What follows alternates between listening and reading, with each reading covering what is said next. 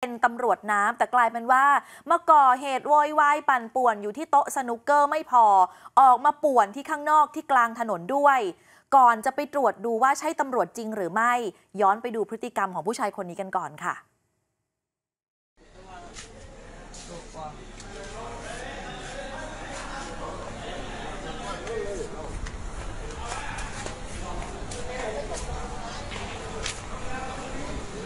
ผมบอกแก่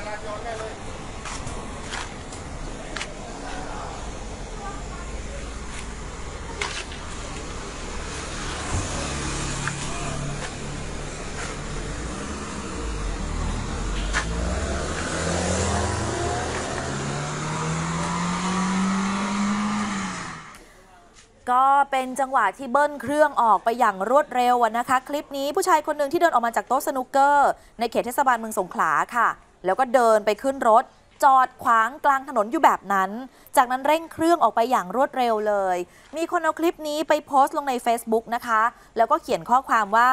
ประเทศสงขลาก็มี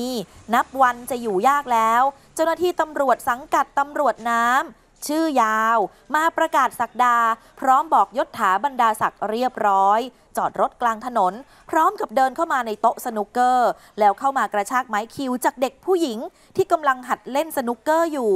ไม่รู้หรอกนะว่าตำรวจจริงหรือตำรวจปลอม แต่ทำแบบนี้มันไม่ไหวทำมาหากินกว่าเด็กจะเข้าไปแต่ละโต๊ะเนี่ยนะคะ ถ้าเป็นตำรวจจริง ก็จะเอาเรื่องให้ถึงที่สุด เขาบอกเขาทำมาหากินกันอยู่ แต่ว่ามาเกิดเรื่องเกิดราวแบบนี้ ทีนี้ไปถามคนดูแลโต๊ะสนุกเกอร์ ชื่อว่าคุณไอซ์ค่ะ เขาบอกว่าเหตุการณ์นี้เกิดขึ้น5้าทุ่มครึ่งวันวันที่ 11 มิถุนายนที่ผ่านมา ผู้ชายคนหนึ่งเข้ามาด้วยอาการมึนเมา เอารถเนี่ยมาจอดที่กลางถนนเลย จากนั้นเบิ้ลรถเสียงดังโวยวาย แล้วก็มีคนในร้านเข้าไปถามอะค่ะว่า มีอะไรหรือเปล่า แล้วก็เขาก็สวนกลับมาว่า รู้จักไหม ชื่อยาวตำรวจน้ำ จากนั้นเริ่มเอะอะโวยวายนะคะ เดินเข้ามาในร้าน ไปแย่งไม้สนุกที่ลูกค้าเขาก็เล่นกันอยู่ แถมยังเป็นผู้หญิงด้วย ลูกค้าตกอกตกใจกันมากค่ะ ซึ่งตอนนั้นมีลูกค้าประมาณ 40 คนกำลังเล่นกันอย่างสนุกสนาน พอหลังจากผู้ชายคนนี้เดินเข้ามาโวยวายได้สักพักหนึ่งก็เดินออกไปนะคะ แล้วก็เบิ้ลรถตัวเองอีก จากนั้นก็ขับออกไป ลูกค้าก็ค่อยๆทยอยออกจากร้านจนหมดเพราะกลัวว่า เขาจะย้อนกลับมาอีก เขาไม่อยากจะมีปัญหากันค่ะ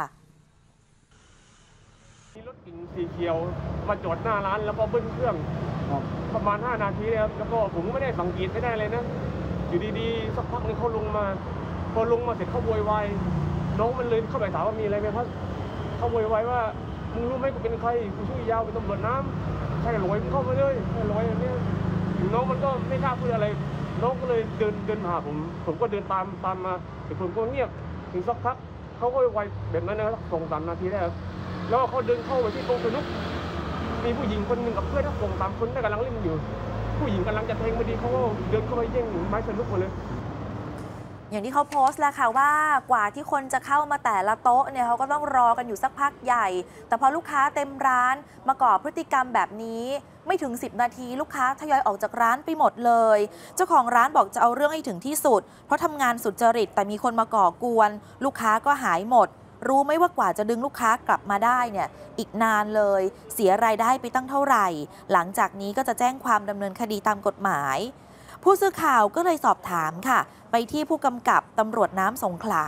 ได้รับคำตอบมาว่ายังไม่ทราบรายละเอียดนะคะ เรื่องที่เกิดขึ้นก็เห็นแค่ในคลิป เดี๋ยวจะตรวจสอบให้อย่างละเอียดอีกครั้งหนึ่ง หลังจากนั้นไม่นาน ผู้สื่อข่าวไปได้ข้อมูลมาว่า ผู้ชายในคลิปนี้ เป็นตำรวจน้ำจริง ๆ ด้วยนะคะ แล้วก็มียศร้อยตำรวจเอก เวลาเมา